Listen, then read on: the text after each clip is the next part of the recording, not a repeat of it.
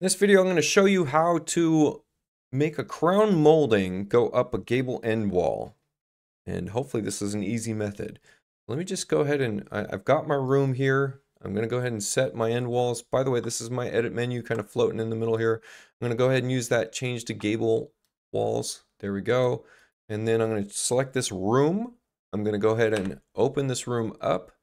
I'm going to uncheck use floor defaults in the moldings panel and add a new uh, molding. I'm just going to do CM06 maybe. CM is a prefix for all Chief Architect's crown moldings. So there we go. We've added that crown molding. And then with the room still selected, I'm going to say that I'm going to turn off the ceiling and then I'm going to convert and make room molding polyline. Scroll down until I get to my crown molding. There we go. Now we've produced the crown molding in this room. Let's go ahead and pull a cross section view. And with moldings turned on, hopefully we should be able to see this molding. I'm going to use the line tool. I'm going to hit L on my keyboard and then draw up a line, snap from the front edge of this crown molding profile up to my gypsum drywall, and then hit Tab or Enter and copy this. All right, now that I've got that copied, should be able to grab my molding right here, use Transform Replicate, paste this into the Z delta. That's going to raise that so that front edge there is lined up. Now it looks like it could actually move just a little bit, right? So maybe it's that I take this crown molding one more time. see if I can actually do a point to point. Is that going to let me do it? Yes, it does, right? So that actually worked out quite well.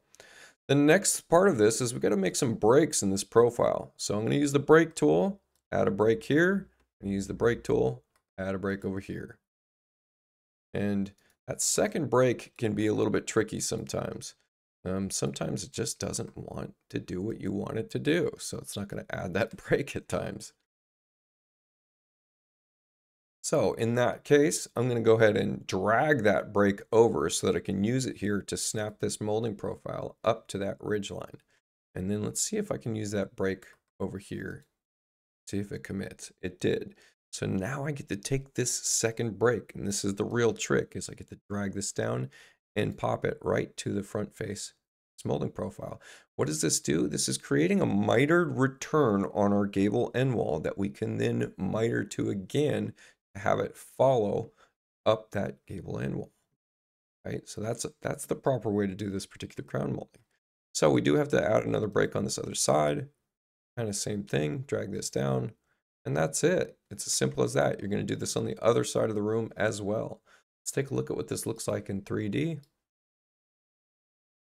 we go. Let's just do a nice little rendering mode with a line over. And let's just kick off room lighting. That room light didn't want did it. Still doesn't want to.